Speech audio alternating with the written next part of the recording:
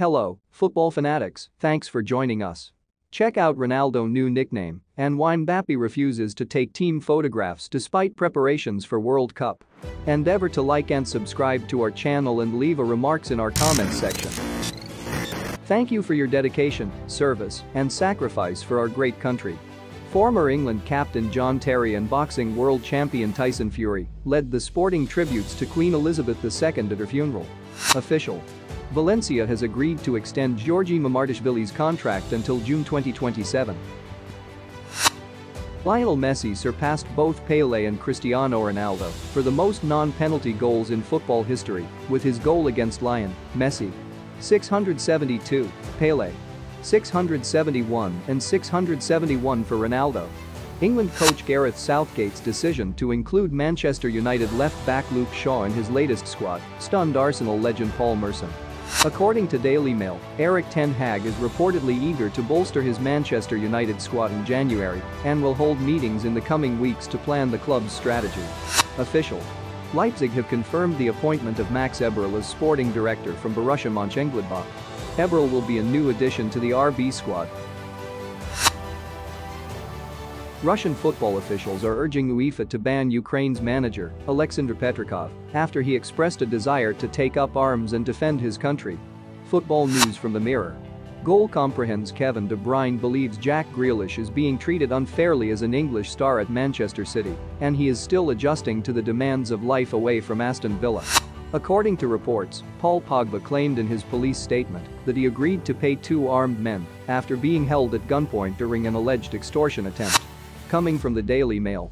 According to El Nacional, Bayern Munich regrets passing up the chance to sign Manchester United striker Cristiano Ronaldo and plans a January move for the forward. Manchester United players and staff were affected by a bout of suspected food poisoning following their Europa League trip to Moldova, with up to 12 people affected and some stars forced to miss training over the weekend. L'Equipe quotes Jules Kounde as saying, I spoke with Thomas Tuchel and felt compelled to come, but I simply preferred Xavi's speech.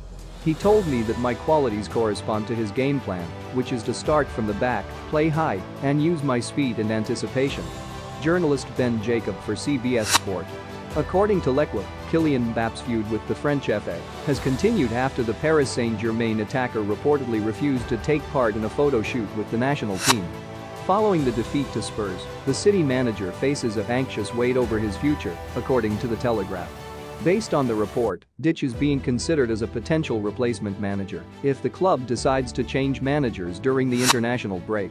La Liga will submit a formal report to the Spanish Football Federation's disciplinary committee and the state's anti-violence commission, condemning the racist abuse directed at Real Madrid winger Vinicius Junior by Atletico Madrid fans ahead of Sunday's derby.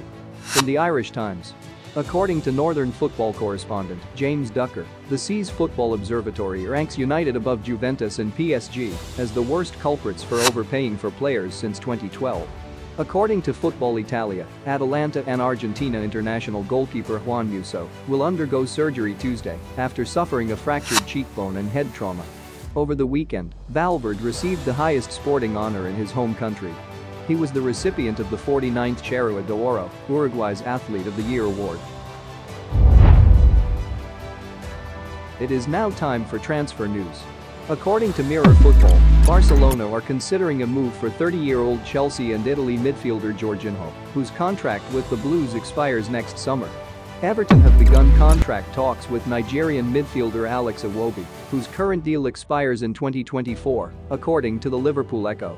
According to Mundo Deportivo, FC Barcelona is interested in signing Real Madrid's Marco Asensio. Mourinho is said to be a fan of the Swiss international and wanted to sign him last year, but Xhaka refused to leave the North London club, according to Fabrizio Romano. Arsenal are set to rekindle their interest in Manuel Locatelli, according to Calciomercato. According to The Sun, Everton have begun talks with in-demand Anthony Gordon about a new six-figure contract. Hartlepool manager Paul Hartley and assistant manager Gordon Young have both been fired. A decision was made to make a change, the club said. Now for the big news of the day. Due to a disagreement over image rights, Kylian Mbappe has refused to take part in a photo shoot with the France squad while on international duty.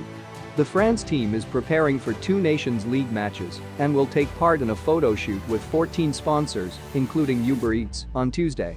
Mbappe, on the other hand, has stated that he will not participate in the session as part of his ongoing fight against what he considers to be unfair image rights standards for Les Bleus players. In March, he also protested sponsors. Manchester United teammates have given Cristiano Ronaldo a new nickname as Erik ten Hag continues to reassemble his squad. Ronaldo shared an Instagram photo of himself in action during the win over Southampton. Several people commented on the post, including Martinez, who wrote, El Bicho, which translates to the bug in English. It appears that the two have developed a strong friendship in recent weeks, as evidenced by the new nickname. Thank you for watching, please subscribe and don't forget to share. See you in our next video.